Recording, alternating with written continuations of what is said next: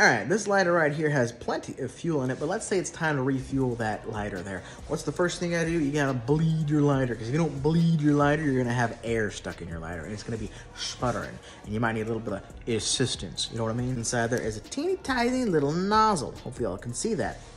That's where you stick the butanes. The first thing you wanna do is bleed your lighter. Get the air out. Get that air out.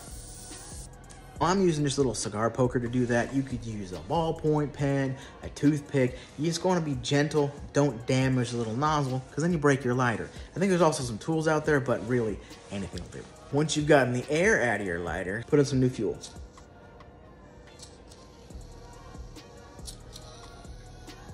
You typically want to sit, or at the very least warm this up in your hand for a couple seconds before you click clack the bang bang bong